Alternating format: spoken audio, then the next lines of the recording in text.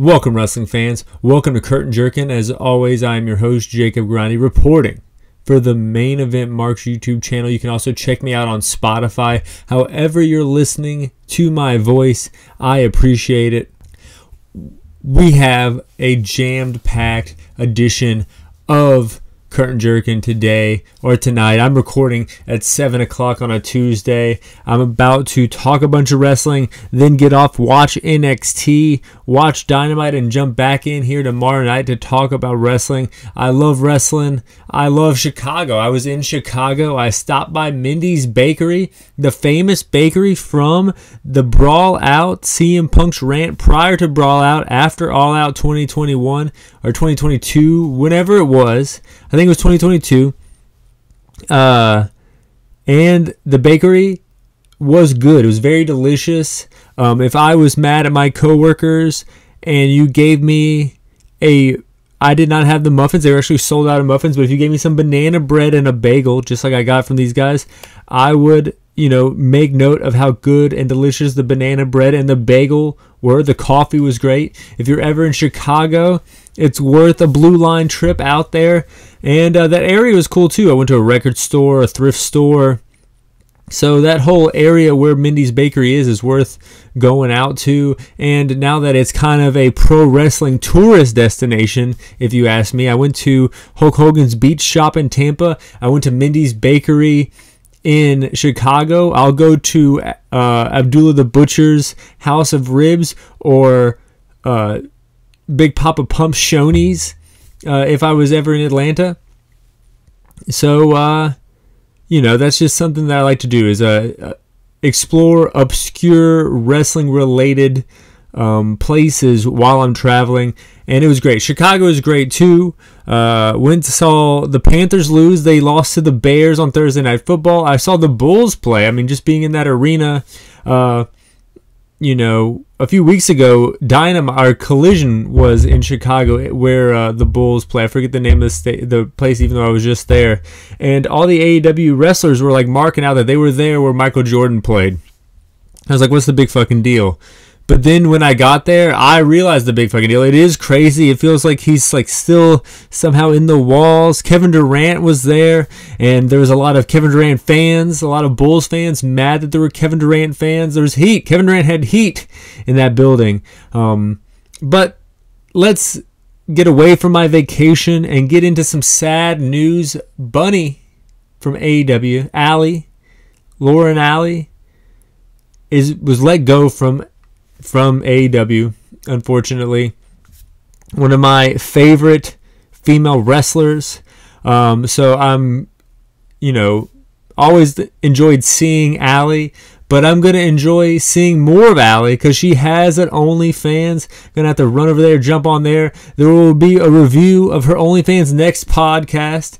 But she's not the only one leaving her home promotion. We have Nakajima and Noah leaving or had has left Noah. Um, you know, he's one of those guys who the entire time I've been kind of really keeping up with Noah, which I got to admit I'm kind of a bandwagon Noah jumper. I I always watched Noah way back in the day when you know Misawa, you know, watching YouTube videos and full matches of Misawa, and uh, I mean honestly when the Briscoes would go over there, that green ring is kind of stuff of legend. And then I started watching when they put the belt on Muta. And when they put the belt on Muta, and you know, you had Go Shiozaki, and all the fans wanted either Go Shiozaki or Nakajima to have the title, but for whatever reason they never put the title on him. They kept putting it on the like older guys, guys that they thought, you know, a casual fan like me would like. During that time, Nakajima was having great freaking matches with anybody you would think of knocking people out, working. You want to talk about working snug? I mean, this guy's probably the stiffest motherfucker in wrestling today, or that I know of at least. Um, so he had a hardcore fans behind him, but they never would put the title on him, or if they did, it was very short notice. He's a small stature guy, so maybe that held him back a little bit, even though he was super over. But he's left wrestles not has signed a contract, but wrestles in all Japan. This is someone I would think would probably going to show up at Wrestle Kingdom this year. Uh, if you know, and then you, I mean, then off to the races. You could have him and Ishii. Uh, I mean, that's really what I want to see him and Ishii. I was about to list a bunch of names, but then it's just like a cloud of the desire of Nakajima versus Ishii that I that I have just kind of came over me. I couldn't. I don't want. I just want to see him and Ishii wrestle. Um, but I that's my prediction is he's going to appear at Wrestle Kingdom after this short stint in All Japan. We'll talk more about Wrestle Kingdom later on. We're going to talk about WWE right now. Crown Jewel uh, happened since we last spoke, and of course it happened a while ago. So I'm just going to go over maybe some main points here. Logan Paul with the U.S. title. Good. I'm glad. Uh, he cut his the little promo he did for social media with his brother. He does a lot of funny things with social media, kind of picking up where Paige left off, but in like a more ironic, less like tape leaky kind of way. You know, showering with the title, sleeping with the title, holding the title while his girlfriend holds him. That was kind of funny. And then even alluding to saying that Triple H said that he could not fuck with the title, um, which I thought was kind of funny as well. Uh, John Cena taking the L from Solo. Uh, huge win for Solo, and then Cena walks away. Uh, kind of like this is the end. Could this be the end? I hope not. Even though the writer strike is over, the acting strike is over, I still want to see Cena have one more marquee match. Uh, I mean, he kind of already put over Reigns. He put over Rollins years ago. He put over Austin Theory. You know, uh, he was out there with Grayson Waller for a little bit, and then he even put over Solo Sikoa here. So I'm not really sure what else is left for him. You know, this victory lap of a career has been going on for a while but I'm just not ready to let Cena go. I don't know. I'm marking out a little bit here. Cena was the guy who they put the rocket on after the Attitude Era, and uh, him retiring at the same year that Sting retires would kind of just. I don't know. I'm not ready, even though I'm 34 years old, I'm not ready for my childhood to go away that abruptly yet. I think Cena still can can have a few matches. I don't know. I don't know. Maybe I'm talking with my heart and not my head. But going into SmackDown, Escobar and Ray, they didn't see eye to eye. Carlito driving a wedge between the two of them a little bit here. Ray ends up bitch slapping Escobar and then trying to apologize. Escobar's not having it and attacks Ray using steps. And Ray does need surgery on his knee. I think this is a shoot here. So I think they did the angle because of that. But uh, I, I don't think that this kind of angle needs the U.S. title so I'm glad they put it on Logan Paul because he's doing great things with it. And now they have this cool LWO storyline kind of coming off of Logan Paul's victory and Rey Mysterio's loss. Kairi Sane appeared at Crown Jewel. She also appeared on SmackDown. New look, very hip, Tokyo designer thrift shop vibes going on here. Uh, joins Damage Control. Damage Control goes up against Charlotte, Belair, and Asuka. And then Asuka doesn't tag Bianca, missed her former WrestleMania opponent, opponent and joins Damage Control as well as, uh, you know, uh, joins Damage Control as well, I should say. Five members of Damage Control, making this a very strong faction. Shotzi runs out to no avail. Uh, I missed the Insane Elbow. We got to see the Insane Elbow. Very cool that it's back. Uh, and then, so you have the good guys. You got Bianca, you got Charlotte, you got Shotzi, a ragtag group of good guys going up against a strong heel faction. I mean, I think this is this is good shit here happening on SmackDown in the women's division here. I would say I'm more intrigued by this women's division now with the uh, positions and things they did than any other women's division on U.S. television. LA Knight still over after taking the L from Crown Jewel, interrupted by Grayson Waller. LA Knight calls uh, Twitter X, which uh, I mean I always make note of someone who's calling it X, so he calls it X, not Twitter. Ends up dropping Grayson Waller. Later on, Grayson and Theory come out, dump water on Kevin Owens. Kevin Owens chases after them, doesn't care that he's going to get suspended, attacks him anyways. And now I, maybe we're going to have LA Knight and KO you know, taking on Grayson Waller in theory somehow. I don't know. We can we'll have to see what happens out of that.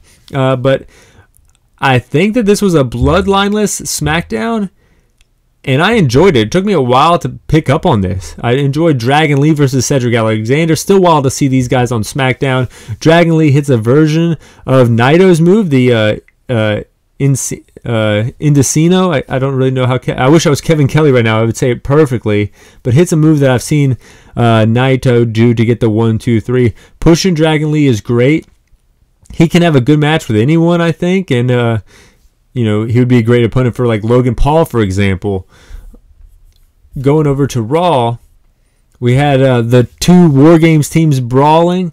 You love to see that shit. Pierce bans everyone that is in the War Games match from the arena in the main event that took place later on. Going over to that main event, we have Cody Rhodes and Jey Uso hitting the code D onto Finn Balor. 1 2 Damian Priest breaks it up.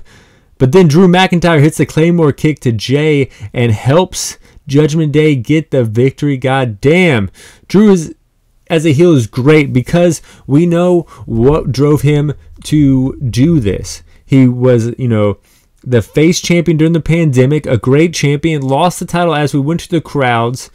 Then the hottest crowd of his career in in Wales then the bloodline screws him over from that title. So it makes sense that he's attacking one of the bloodline members to help another faction win. Now, you know, you can't beat the faction, you join a strong faction, and now he's helping Judgment Day.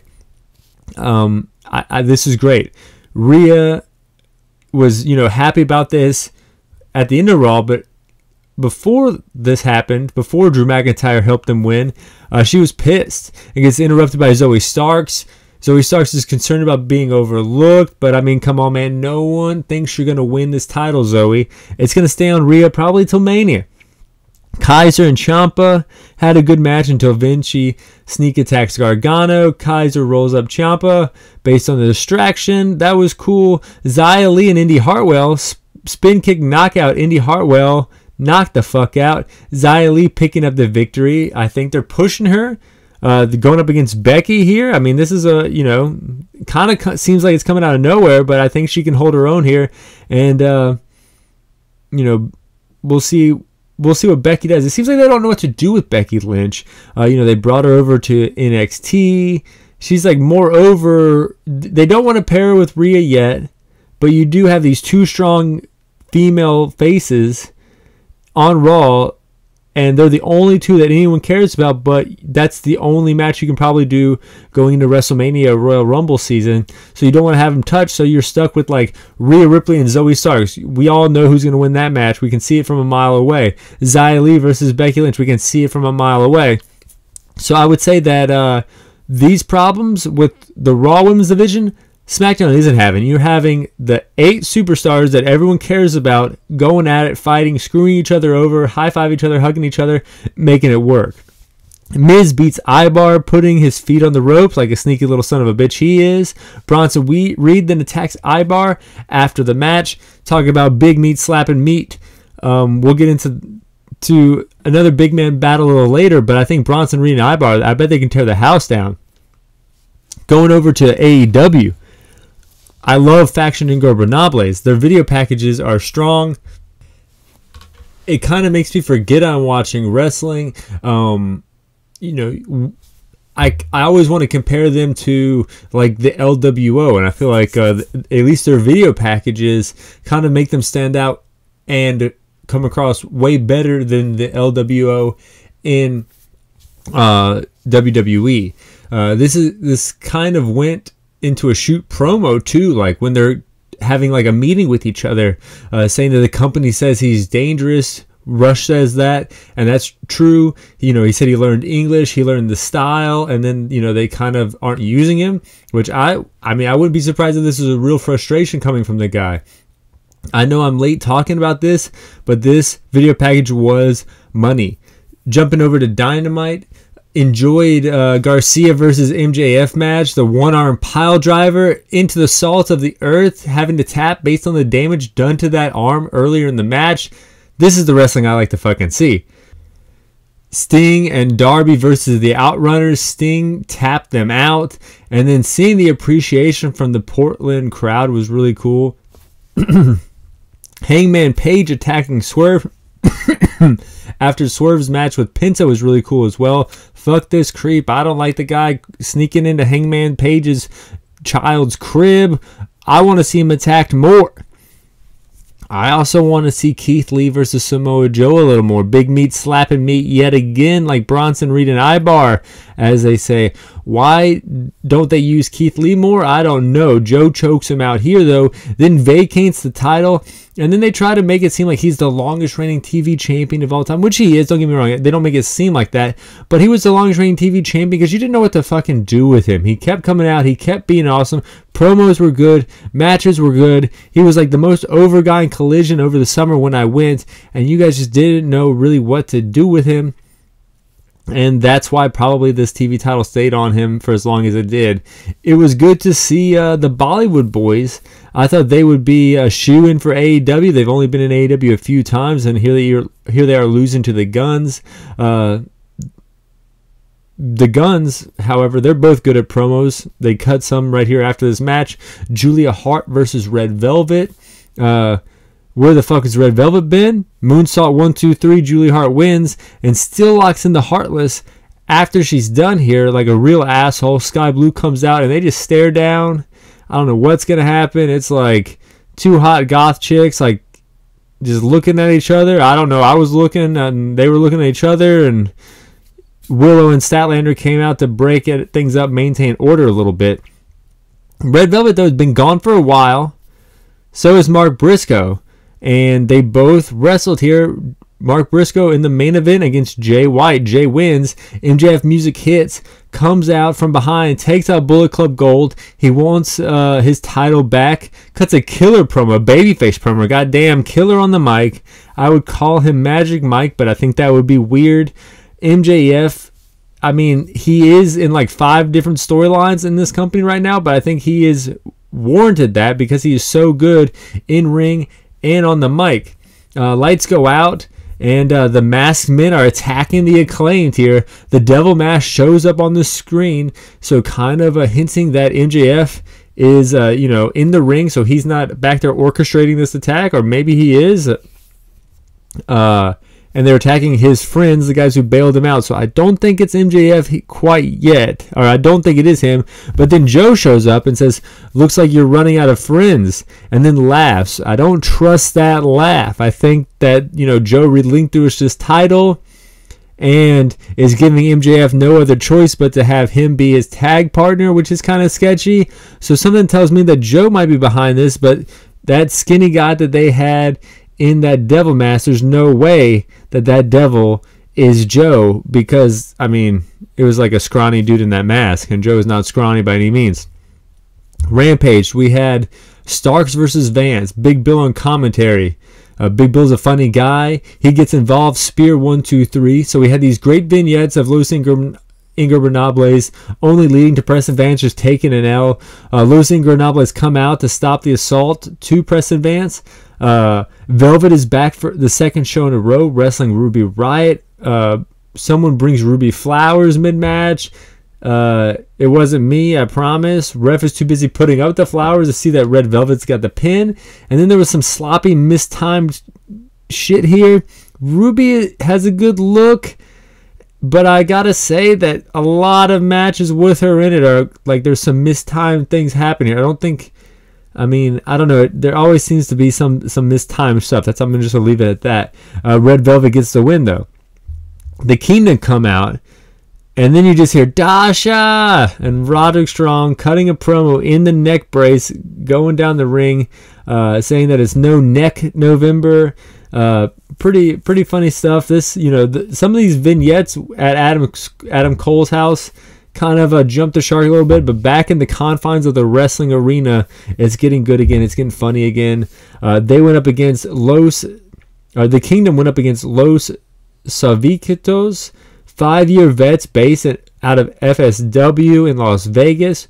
Strong just gets right up there, uh, out of his chair to hit a brainbuster, uh, like a lying asshole he is, and jumps back into his chair uh, that was funny. FTR and Vic- FTR versus Vikingo and Komander, great match here.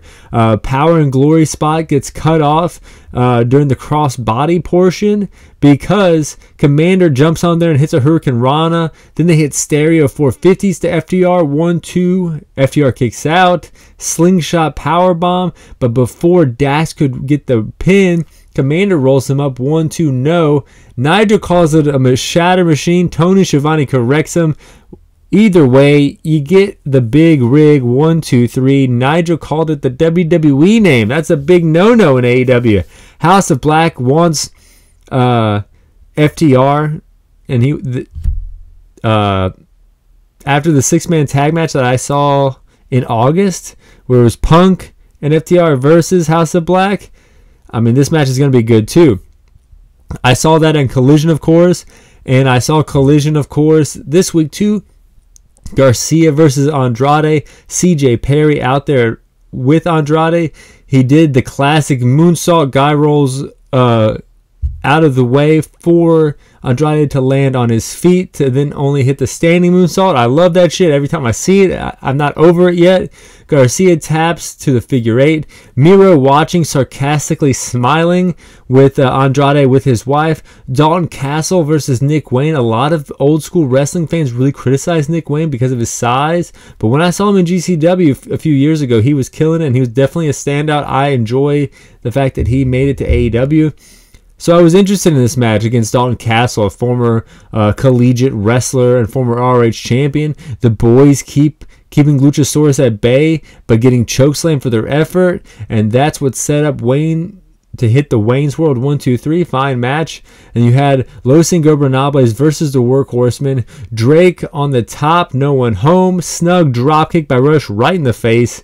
One, two, three. I mean, I know that I guess they say he's dangerous, but I like the way Rush wrestles. It, it brings me into it. It makes me believe, even for a short few seconds, like I get caught up in the match because he's working snug. It's it, it comes across as real, and it might be real. I don't know. House of Black cuts a promo, uh, challenges for the tag titles at full gear.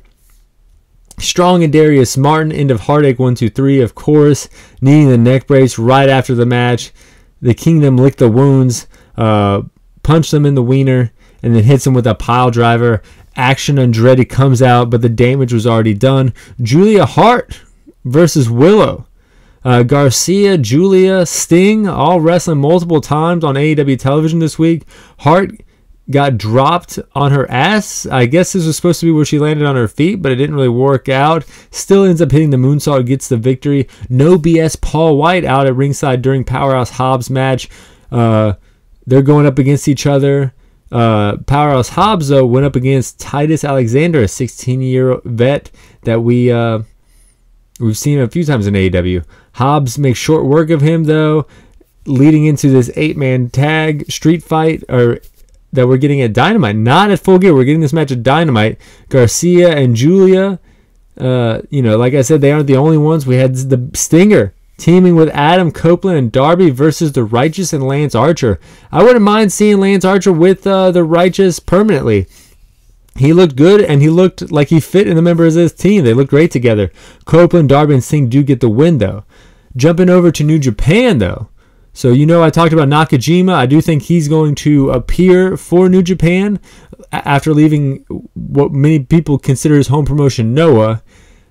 And I think he's going to debut at Wrestle Kingdom, Wrestle Kingdom 18, which is crazy. I started religiously watching New Japan at Wrestle Kingdom 9. So this is my ninth Wrestle Kingdom that I've uh, woken up early for and watched. So let's break down uh, the matches so far because I got quite a few of them already announced. We had the Never Openweight Championship match, Tama Tonga versus Shingo. This match just happened in Las Vegas. It was a great match. Uh, Shingo beat Tama Tonga to to win the Never Openweight Championship, and here they are wrestling again. Um, I'm gonna have to say Shingo wins again. I'm not. I don't know why I'm going with that. I'm just going with that. And then you have the New Japan World Television Championship match. Zack Sabre Jr., the only champion this title has ever had. He was the first championship. Uh, this match is really cool. It's a 15 minute time limit. Uh, Zack Sabre Jr. has killed this stipulation. Uh, I love all the ways he has, you know, done well with this title and had entertaining matches, going up against the legend himself, Hiroshi Tanahashi. And in the Tokyo Dome, I know Zack Sabre Jr. Uh, has held the title for a long time, but I think it's time for him to drop it to Tanahashi in the dome. Tanahashi's gonna he's winning he's winning in the dome. That's how it's gonna work.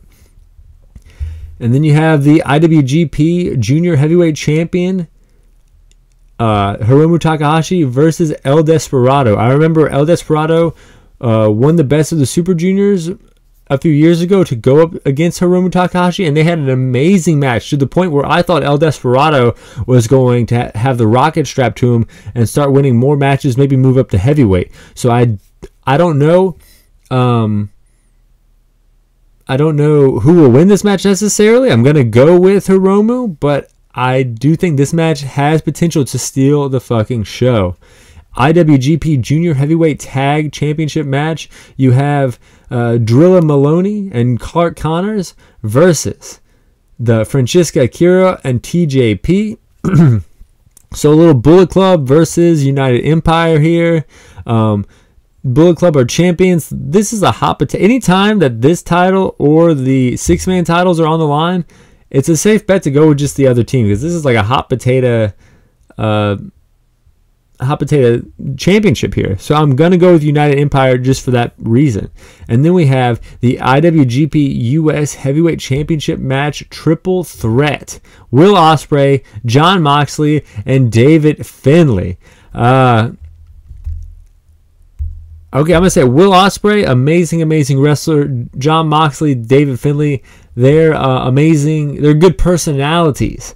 I do feel like this match uh, is kind of holding Will Ospreay back a little bit here. I mean, we, I can't be the only one that wanted Ospreay Omega three in the Tokyo Dome for the second time, but we're not getting it. We're getting this match, and um, I do think that Ospreay has alluded to you know his title being is uh his not title, but his contract being up, and I, I think that I think Moxley's going to win here because I think David Finlay. I think you kind of want to push him a little more. You don't want to put that U.S. title on him. You want to put something more on him. So I think it might go back on Jon Moxley here. Then we have the special singles match. Okada versus Bryan freaking Danielson, a rematch from uh, Forbidden Door. This is going to be great here. I mean, these are one of my top five favorite wrestlers right here Okada versus Bryan Danielson. It's the Dome. Okada's winning here. And then we have the IWGP World Heavyweight Championship match. Sanada, uh, a champion who I think this might be a little project, uh, trying to get him over. You know, leaving Ingobernables, kind of being the leader of his own faction here, holding the title, looking more clean cut than he did on in when he was in Ingobernables, going up against his former leader, the leader of Ing- Los Ingobernables de Japón. Uh, so that's kind of interesting here. Uh, so this faction split. So you do have Los Ingobernables, the one that Rush leads, that kind of started, but this all started in CMLL where Naito did his excursion, where Naito wrestles or wrestled fairly often. So he became a member of Los Ingobernables. Then he went to Japan and he became the leader of Los Ingobernables de Japón, as they say it. And then I guess Rush has the original Los Ingobernables that kind of filtered over to America in AEW. So that's a little lesson there, I guess, or just maybe catching you guys up to speed. Uh, I think Naito's going to win it here. I think that the Sanada experiment did not go as well as they had planned. So I think that, um, you know, they're going to just kind of maybe cut the cord with it and go back to uh, something that they already know is a guaranteed success, which is one of the most over people in all of wrestling. Naito winning the world title in the Tokyo Dome. Of course, he lost in the world title match a few years ago against Okada, and I think it was like 2018 or 2019, or yeah, sorry, sorry, sorry. I think it was 2018. Uh, lost to Okada in the Dome, a heartbreaker. A lot of people thought that that was Naito's time then, but it's definitely his time now. Uh, long awaited, overdue, some would say. Naito is winning the title in the Dome. Staying in Japan, I'm going to talk about a company I rarely talk about on here, DDT Pro. Um, had a show over the weekend. I have not seen a full show of DDT. I've seen DDT matches and clips over the years, uh, but never a full show here.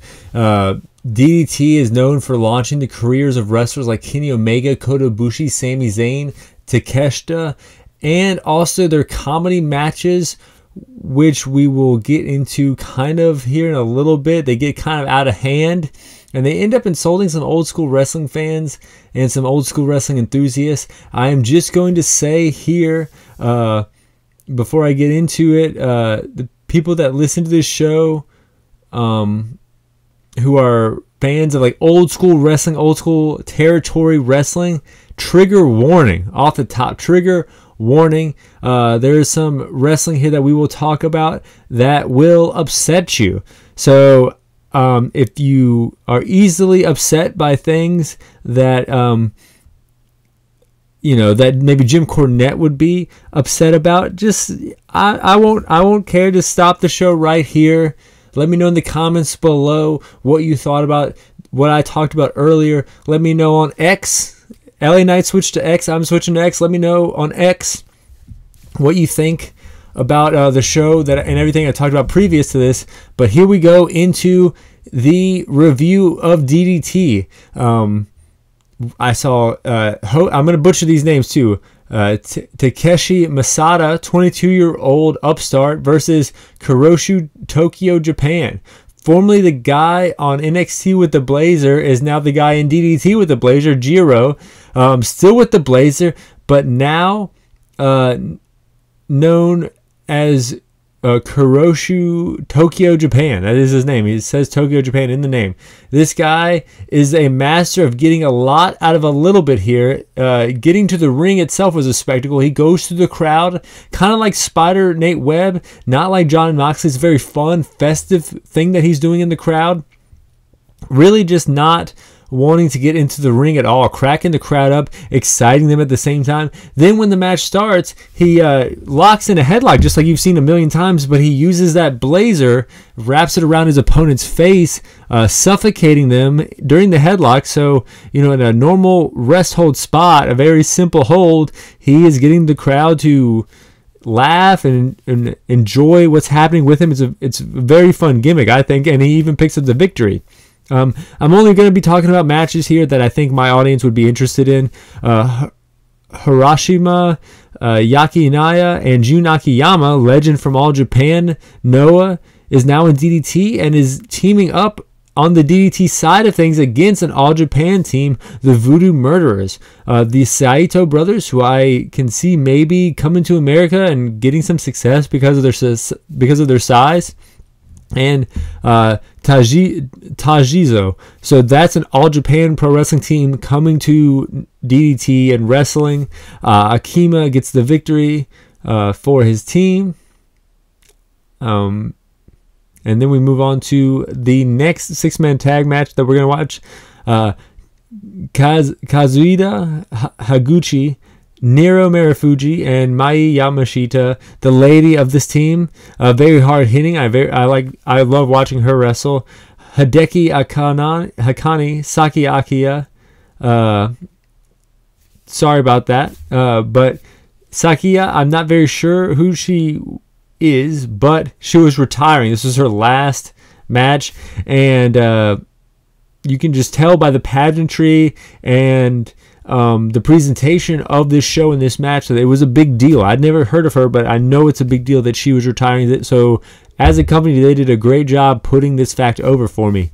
Yokira and Yokira Sakaguchi was in this match as well. I never have, just like I said, yeah, I've never seen Saki Ike wrestle, but when she lost the match, everyone else in the match started crying. So, and then they showed this video package my Sacrifice by Creed in the Attitude Era, Eat Your Heart Out. This almost brought me to tears, and I don't even know this woman. Uh, wrestling just pulls at the heartstrings sometimes, and this was one of those times. It was crazy to see. And then the weirdest wrestling match I have ever seen in my life took place in front of my eyes. I'm going to say it again here. Trigger warning to the old school territory fans. Hiromu Takahashi, that's right, the gentleman who is the champion of the IWGP Junior Heavyweight division in New Japan versus Kazuki Harada, a DDT Iron Man Heavyweight Heavy Metal title. Uh, this title is kind of like the 24/7 title of Japan, but like that isn't even half of the ridiculousness of the title itself. Um, you'll understand. So it was a spin the wheel match here, but it's okay. So yeah, we'll get into it. Uh, so they spun the wheel, and the gimmick they land on first was uh, a match where you had to dance for the move to to count. Uh, and Hiromu got hit with like a dancing kick here or something. He called bullshit, just started attacking the guy. Uh, that popped me, but then the ref stopped it. Uh, you had to dance for the move to be legal in this gimmick matches, uh, this gimmick type. But then the wheel spun again, and it landed on handicapped match. You know, a nice little old school gimmick? No. Because it was a handicap match between Hiromu versus his opponent and a blow up doll. And I don't know if it's the exact same blow up doll, don't get me wrong here, but it's the blow up doll with the gimmick that Kota Ibushi, famously wrestled that uh, people talk about, you know, on podcasts to this day. It happened like 12 years ago. Uh, the wheel spins again after a while. So it lands on a blindfold brassiere match. So both wrestlers put on bras and then put on blindfolds. And it was like a bra and panties match, but the two opponents were blindfolded. You had to remove the bra of your opponent to win this section of the match. Um, I'm not sure if there was points accumulated here or there was points being taken away. I'm not sure like why you would want to win this portion rather than just trying to pin the person. But here they are in the ring uh, with brasiers on. These these wrestlers, these you know, I mean the Hiromu Takahashi wrestles in the Tokyo Dome with bra with a with a blindfold on, and uh, that's what fucking happened here. I think the other guy got his bra off, so they spun the wheel again, and it landed on on a 55 minute dancing death match here. So they danced or whatever. I don't really understand what's happening. It wasn't 55 minutes. Hiromu pinned Harada, and then they fell down in exhaustion. I was exhausted, so I get it. But the IWGP Junior title, the New Japan Championship, was laying over Hiromu when they laid down. The ref counted one, two, three. So the title became the champion of the other title. That's right, the IWGP Junior title for a brief moment in time, became the DDT Iron Man Heavy Metal Champion. Harada, being a human being, and the other thing being an inanimate object, which is the champion, pinned the IWGP Junior Championship to become the DDT Iron Man Heavy Metal Champion, and then ran off. Uh, I mean, this was, you know, it had me intrigued. It was very peculiar. Uh, it was more weird than cool. It was more weird than funny to me, and I think they were going with cool and funny and hip. And I didn't. I, I mean, I couldn't pick up. It was. It was weird. It was weird shit. I, it was supposed to be weird too. So I mean, you can't really say that it was weird, and they were trying to be like a tough, you know, uh, traditional American company here. I mean, this was weird. It was designed to be weird, and they nailed it. So I had to take a break, honestly uh, after a while. But then I came back, and Matt Cardona, the indie god, fresh entrance gear with Stephen uh, D- Steph DeLander going up against MAO, eight-year veteran who uh, started in DDT but has wrestled everywhere, including AEW in a six-man tag match at one point. Uh, I was ready for a normal match, but after a ref bump comes the blow-up doll again, and the blow-up doll was acted as the ref for a brief portion of this match. Uh, I mean, I don't know how to say it, but they did it well. They, like um, it, it, you know, the no one took moves from the blow up doll, um, and the they kicked out of all the blow up doll pin counts, and then Steph just kind of threw the blow up doll in the audience, and the real ref came back. Matt Cardona got hit with the Rough Rider. Now the radio silence off the top rope through three plastic boxes. MAO's, I guess, weapon of choice here is like plastic boxes, kind of like Sandman with the kendo stick or La Parka with the chair. Mayo has plastic boxes, and he hit uh, Matt Cardona through three plastic boxes. Um, so not necessarily a normal match here, but the reason I tuned in took place next. Chris Jericho versus Konosuke Takeshita big fight feel here. This is awesome chance in Japan. Never heard that before. Blue Thunder Bomb, Frog Splash, no one home for Takeshita. Lionsault 1 2. Takeshita kicks out. Takeshita blocking the Judas effect. Senton Jericho gets his knees up. Lionsault Takeshita gets his knees up. So sick. Wheelbarrow press 1 2 no. Codebreaker 1 count kick out. Bitch slap battle. Lion Tamer. Takeshita taps out like a bitch. Jericho picks up the win in DDT. Takeshita's home promotion. You gotta love it. I think you can tell by my voice this match was good. A lot of the other stuff that I just talked about was weird. Uh, I I I not I don't hate it. Uh, it was it's funny. Um, it is what it is, kind of a thing with me. But uh, this like a serious re- good wrestling match will beat a weird for the sake of weird wrestling match in my eyes, any time. We also had the main event Chris Brookes versus Yuki Ueno. Uh, I don't know much about DDT, but I do know these guys are modern staples of DDT and apparently best friends that had the same goal of winning the KOD Openweight title, uh, more or less the world championship in DDT. Uh, good match. I do think at this match, this match hit me where I think a lot of AEW fans would really enjoy watching DDT. Uh, Yoki uh, Uno got the victory, and uh, just like uh, Saki Akira, uh, the lady who retired in the six man tag earlier in the show, uh, I didn't have to know much about this guy to know that this was a big deal. DDT does a good job presenting things as big deals and letting people know based on the perception, presentation, and spectacle of these victories and of these moments what we should care about. So I will say, as much as it seems like I may be making fun of DDT with the uh, ridiculous match types in the one match, they did a good job of doing things and making things feel like a big deal across the whole show. Much more than I think AEW does, and much more than I think a lot of promotions do. So, before you give this promotion all the shit, you got to give them a little bit of praise because they do make things feel like a big deal for their fans. And this show was like a five and a half, six hour show, and they had their crowd in a big arena in Japan entertained for the whole damn thing. They had them entertained through the comedy matches. They had them crying whenever people were retiring. They had them on the edge of their feet when their guy won the, the KOD championship match for the first time. Um, so you can't really say DDT is a bad wrestling promotion, it, or you could if you wanted to, but I would defend them. Uh, I I bet I would defend them. I would defend them for the people that hated them just as much as I would complain about them to the people that liked them. I don't know. I'm kind of still on the fence with this promotion. I, uh, as I'm speaking to you, I'm realizing it. Hopefully, maybe this encourages you to watch something on maybe YouTube for DDT and let me know what you think on X. X gonna give it to you. Fly high. I'm out.